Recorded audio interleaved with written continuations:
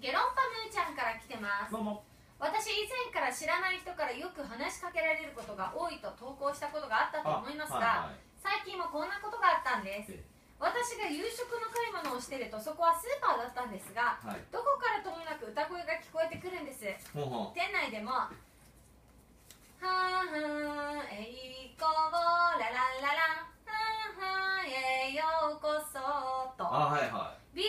も流れていましたが明らかに人が歌ってる声が聞こえてくるんです。い人が当たってんだ。するとお刺身コーナーの方で大きな声で歌ってる男性がいたんです。え私は目を合わせないように人に紛れて通り過ぎようと思ったらなぜかこのおじさんえ、うん、私に照準を定め歌いながら近づいてくるんです。怖い怖い怖い怖い怖い。なるべく刺激せず微笑みながら逃げていましたが前を塞がれ「声で歌った後に私に「せい!」って言うんです。せい？せい？せいほーの感じ？そうせいって。もしかして私に歌えと言ってる？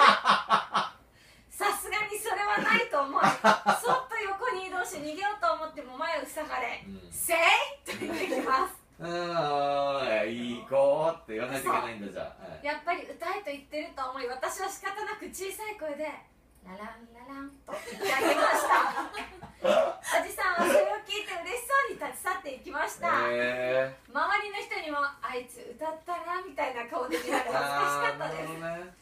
もう私のことはそっとしておいてください。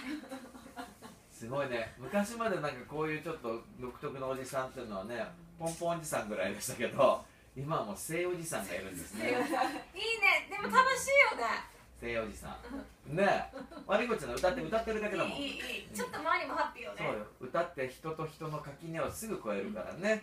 これがいい例ですね。ね 国境とか言葉とかも関係ないんだ関ってよ係ないよね、うん、スーパーでもそんなことが起こってます